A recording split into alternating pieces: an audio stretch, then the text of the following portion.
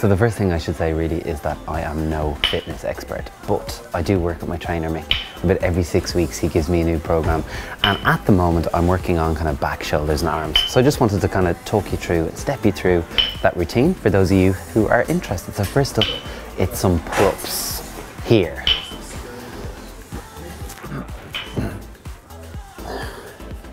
So you can do six to eight of these and the important thing is that you come all the way down, full extension of the arm, and then back up.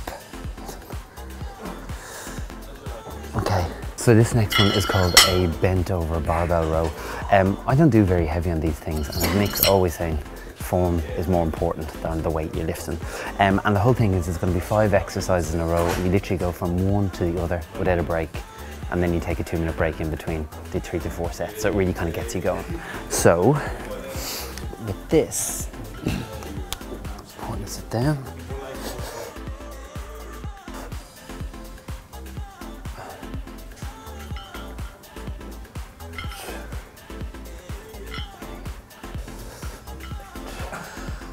This is the lat pull down for your lats in your back. And uh, use the bull horn as opposed to the flat one because apparently it's better. And it's important that you grip the horns and pull them into you. so.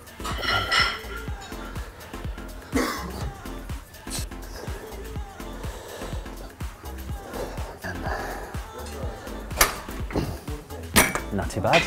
If it's too easy, increase the weight. I like to ease myself into these things. So this is our seated row.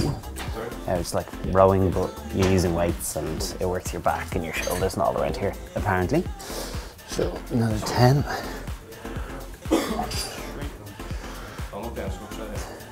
You have to extend fully on this one as well.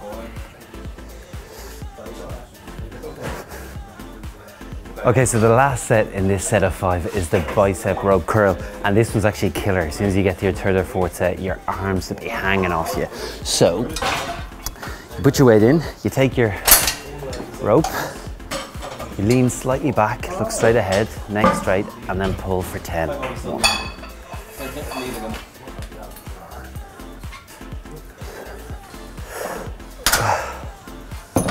So, they are your five sets of exercises, at least in the first batch anyway.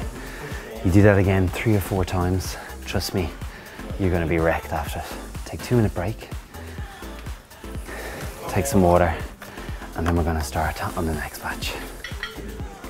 So that first set was focusing on the back and your biceps. This next set of uh, five exercises is focusing on the chest and the triceps, so the back of the arm. This one really burns. Again, it's five exercises. You do 10 uh, reps of each, two minute break in between, and three and four times. So you really get a sweat going, you really burn, and you can really feel it on your muscles, which is what you want.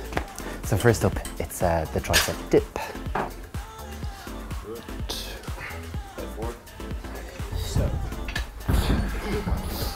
Okay, so once you've done your tricep dips, you're down onto dumbbells for some press ups. Choose the dumbbell that you can lift because you're going to use it again. I'll show you. So, there, you're going to do 10 of these again. So, nice and slow. Okay, so now you're using this weight and we're doing an incline chest press. You want to make sure the actual bench is at a 45 degree because you're working a different part of the chest.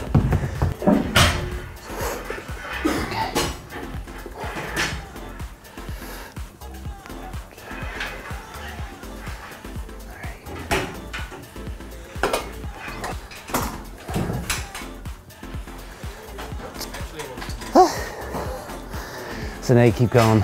We're going to do it on the flat, pretty much the same exercise, but you're doing it with a flat bench. Because you're doing it straight after the other one, these are probably a little bit easier, but you'll feel it. Last exercise is your tricep pull down with the hairy balls. They've been nicknamed apparently. Okay, by the end of your last set these, your arms are to be killing you. So literally, grab these, you want to make sure you stand right up straight. You should feel the tension in your stomach. Support your back and look straight ahead and you're pulling down for 10. Nice and controlled.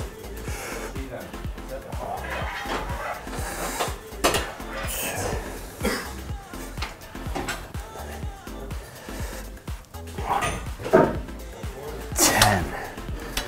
There you go. So that's your first set of them done. You have to do another four. So just to remind you, it's your tricep dip, it's then your push-ups on dumbbells, then it's your 45 degree incline chest press, followed by your zero degree incline chest press, uh, or 180, whatever flat is, and then you're finishing off with these, your tricep pull downs. It takes it out of you. But you know, it works and keep it fresh. Like I change it up every six weeks or thereabouts with my trainer, get a new program made, keep yourself taken over. Another day, I'll show you what I do with my legs, but I have to go now, get some food, and some water.